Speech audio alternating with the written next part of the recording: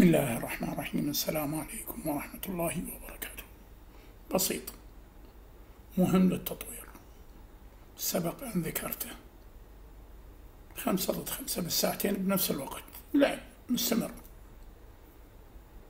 شيء واحد به بسيط جدا أنه المدرب خلال اللعب وخلال ما تكون الكرة في اللعب أو عند الحراس أو في أي مكان ما. إلا إذا كانت خارج. إلا إذا كانت خارج. يستطيع أن يعطي أمر خلال اللعب بذكر بصوت عالي رقم. فإذا قال داعش واللعب مستمر الداعش بهذه الساحة من الفريقين يروحون بالساحة الأخرى والداعش يعني اللاعبين أرقام داعش. لأن أنا عندي أرقام داعش اثنين أصفر وأسود. يروحون هنا. فيصير تبادل مراكز بين الأرقام اللي يذكرها المدرب. واللعب مستمر ما متوقف.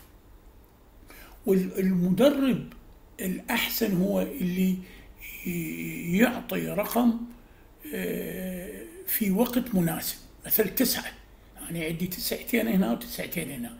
يبدلون مراكز تسعتين باليسار يروحون الساحل باليمين وتسعتين بالساحل باليمين يروحون واللعب مستمر أو متوقف عند حراس المرمى.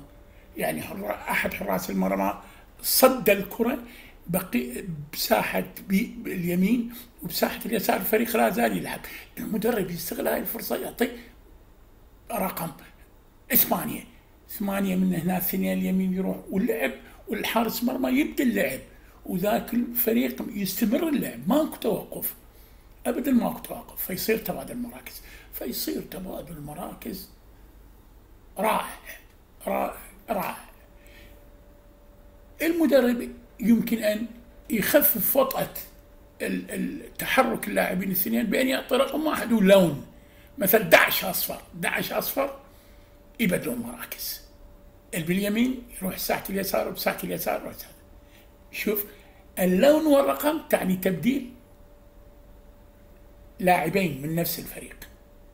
لكن الرقم فقط يعني تبديل لاعبين بنفس الرقم من كل فريق. فإذا قلنا دعش الدعش يروح الأصفر والدعش يروح الأسود يبدلون مراكز ويا زملائهم. وإذا قلنا أصفر دعش الأصفر فقط يبدل مراكز الدعش داعش اللي باليسار يروح لليمين والداعش اللي في اليمين يروح لليسار.